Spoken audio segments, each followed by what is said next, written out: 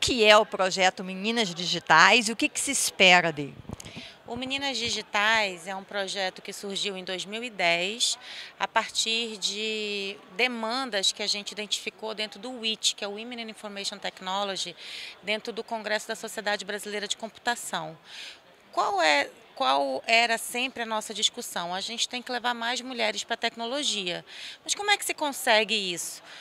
Uma forma é você indo no ensino fundamental e no ensino médio, falando com as meninas, mostrando o que é a área de computação, o que é a área de TI e dizendo, olha, não tem, é, as meninas precisam também ir para essa área, não tem limitação nenhuma que as meninas possam participar. E aí o projeto surgiu dessa forma. E hoje, é, o Meninas Digitais é um projeto que já está em quase todos os estados do Brasil. E aí, em vários locais, ele, ele chega a mudar de nome também. Eu, eu faço parte do, do Comitê Nacional, da, da direção do, do, Meninas Digitais, mas eu tenho o meu projeto lá em Manaus, na, na Universidade Federal do Amazonas, que é o Cunhantã Digital. Porque Cunhantã é menina então a gente fez uma adaptação, mas tem também os, o Gurias na computação, tem as meninas do Cerrado, tem vários nomes é, de acordo com a região, mas todos com esse mesmo objetivo, de ir nas escolas, falar de computação, falar de TI, dizer para as meninas que elas têm que participar das soluções que são construídas, porque senão a solução fica, não fica completa, ela fica sempre só com o viés masculino, né, e a gente não quer competir com, com as soluções é, dadas pelos homens, o que a gente quer é colaborar e trabalhar junto para que elas sejam mais completas. E aí é, é, trazendo mais mulheres para a universidade, na universidade elas, elas, também têm que ser bem recebidas. Então, a gente também trabalha com os professores, com os colegas, faz reuniões com as meninas que entram dentro da, dos cursos de computação. E um terceiro momento é no mercado de trabalho. Então, as mulheres que hoje já estão no mercado de trabalho, que é, enfrentam dificuldades para continuar em algumas empresas, a gente também trabalha com isso.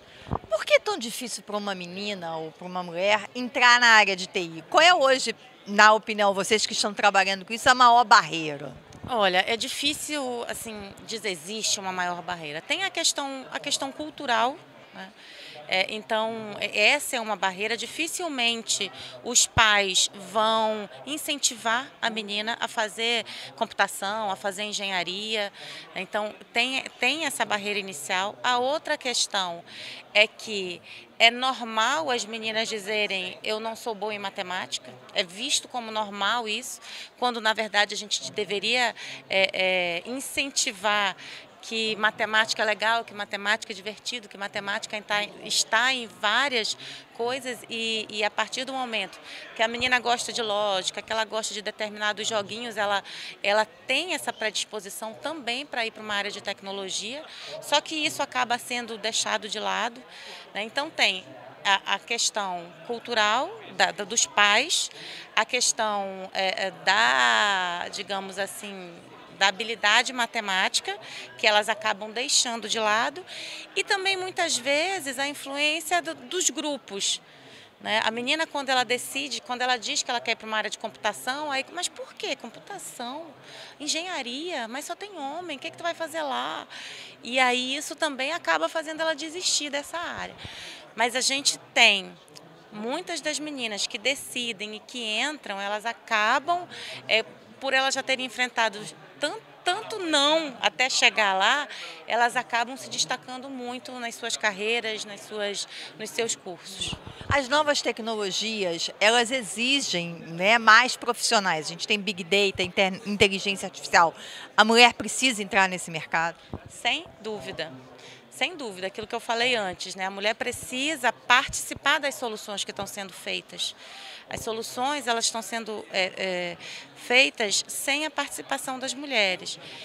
E, e, os estudos já indicam que se você tem times mistos, a sua solução é mais completa, a sua solução é melhor. Então, as empresas também estão investindo em contratar mulheres, porque elas também querem soluções melhores.